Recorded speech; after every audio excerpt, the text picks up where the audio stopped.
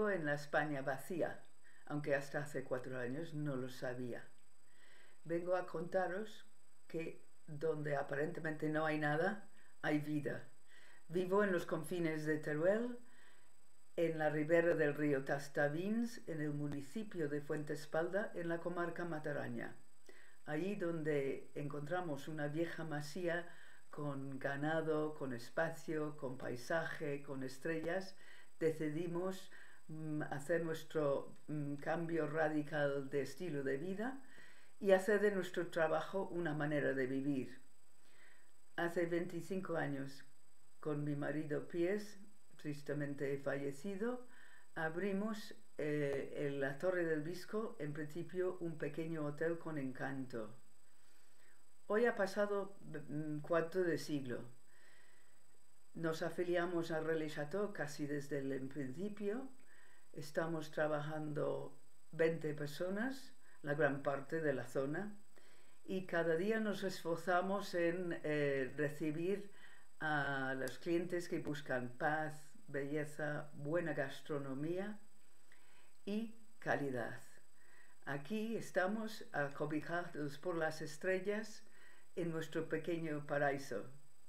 Yo nací en un pequeño pueblo del suroeste de Inglaterra. Me licencié en Historia en la Universidad de Londres, King's College, con la fortuna de estudiar bajo el gran hispanista eh, Sir John Eliot, que aún con sus 90 años siga investigando y escribiendo sobre el país que le fascina. Fue él que me motivó a, viajar, a conocerlo por mí mismo, ¿no? Y así fue un buen día, una tarde calurosa de septiembre de 1973, bajé del tren en Madrid-Chamatín después de un interminable viaje. En aquel entonces no existían los, los vuelos low cost. La transición en Madrid lo viví intensamente. Recuerdo las cargas policiales a los universitarios corriendo por mi propia calle. Aquella tarde de la matanza de los abogados del despacho de la calle Atocha, no se me olvidaré nunca. Pero también los momentos bonitos del gran pacto, del consenso que había entre todos para que la transición a la democracia fuera pacífica y, por supuesto, los momentos dorados de la ciudad de Madrid bajo la alcaldía del viejo profesor, el tierno Galván. Entonces, eh, trabajé en una editorial británica y a la vez con nuestro socio Manuel Arroyo, el editor y amigo, montamos la librería Turna en la calle Génova. Fueron momentos mm, fascinantes pero allá por los años 90, principios de 90, empezaba a cambiar los valores en nuestro sector. Y nos pareció un momento oportuno de eh, poner en acción nuestro plan soñado de tantos años de hacer un cambio radical de vida, ir al, al, medio rural con un nuevo proyecto, mientras que tuvimos todavía fuerza física para realizarlo. Y así fue, después de eh, dos años de búsqueda y 120.000 kilómetros recorridos, ocurrió el flechazo, que era encontrar la Torre del Disco, una masía con 98 hectáreas. Para nosotros siempre era más importante el lugar em, que un business plan eh, previo, mm, minuciosamente trabajado, nos tenía que funcionar la parte emocional de donde íbamos a establecernos. Y entonces el, plan era flexible en función de lo que encontramos. La Torre del Visco en su valle escondido era tan bello que hubiese sido egoísmo no compartirlo. Así que claramente la fórmula era eh, hostelería con agricultura nos dimos de alta como constructores para poder contratar los obreros y trabajar codo a codo con ellos tomando las decisiones a diarios. No queríamos delegarlos a, ningún, a los profesionales. Así que por bien o mal la Torre del Disco refleja mucho de nuestra propia personalidad. El crear un pequeño hotel en medio del campo les pareció tanto a los amigos como a los, de los de la zona, una locura. ¿Quién en su sano juicio abriría un hotel al final de una pista de 6 kilómetros sin asfaltar, en medio de la valle, en medio de la nada, además en una zona desconocida, y encima sin televisión, spa, minibar, zona de recepción, que era nuestro concepto.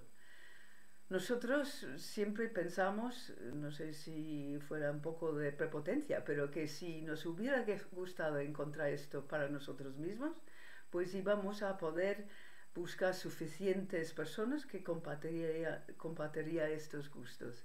Y así, afortunadamente, lo fue. Ahora cuando he hecho la vista atrás, mm, sí que me parece la aventura de estos 25 años mucho más arriesgada, más atrevida de lo que nos pareció en aquel entonces.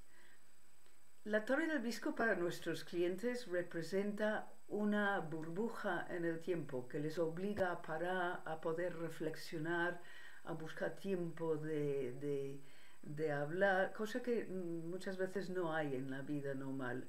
También, por supuesto, disfrutar de la belleza del entorno y también valoran muchísimo el equipo humano que hemos forjado juntos con tantos años, que es discreto pero cercano a la vez.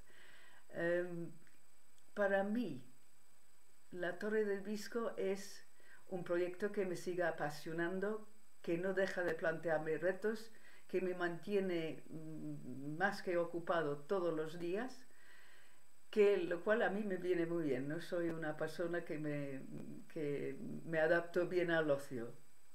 Necesito proyectos. También hay una cosa muy importante, que es la riqueza de los contactos sociales.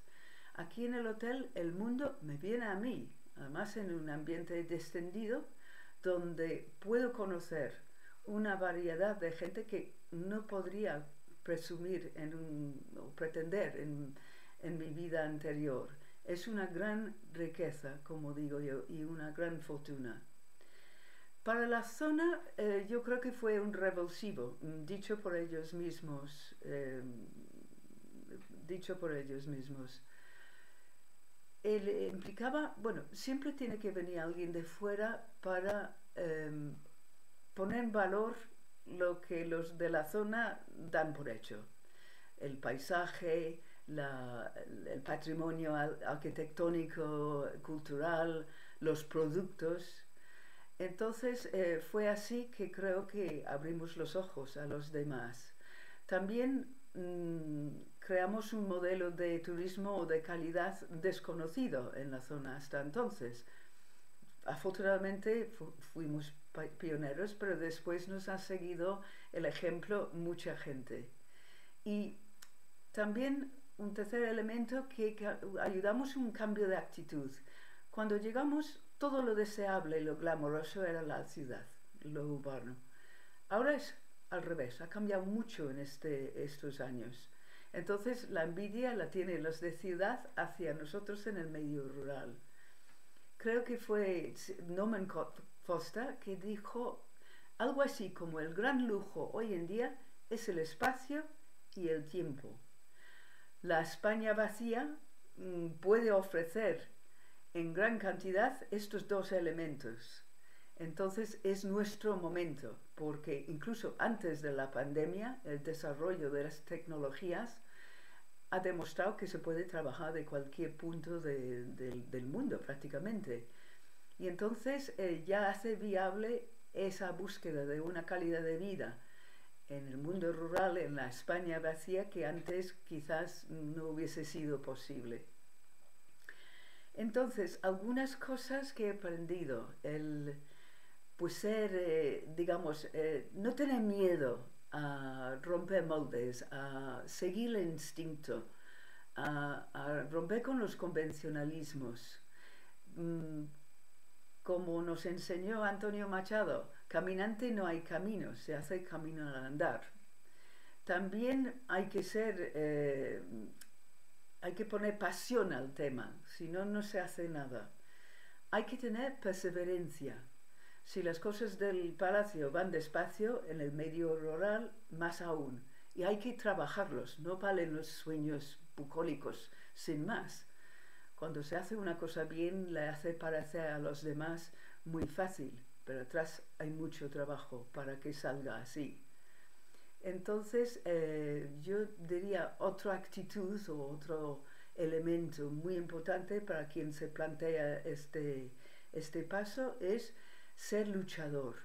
Hay que luchar contra la burocracia, que en las zonas rurales nos asfixian a veces con normativas hechos por y para gente en el, medio urbano, sin tener en mente ni comprender realmente las, la realidad de nosotros que vivimos, que llevamos pequeñas empresas familiares en el medio rural. Hay que luchar contra mm, proyectos especulativos. Eh, eh, por ejemplo, como las políticas de energías renovables, que todos estamos a favor, pero que no puede ser que vayan mm, a mm, destrozar zonas de gran belleza para generar energía para la ciudad, sin dejar ningún beneficio en la zona de ubicación. Tenemos que pactar un modelo sostenible, digamos, que deja beneficiar a todos. En fin, bien, después de, este cuarto de siglo, soy dueño de mi tiempo, he podido reinventarme, tengo un proyecto que me llevará más allá de los años que igual me quedan de vida. Tengo una vida privilegiada en un lugar privilegiado y yo creo que con pasión puede sacar un proyecto de vida hasta en el más escondido rincón de una provincia como puede ser Teruel. Muchas gracias.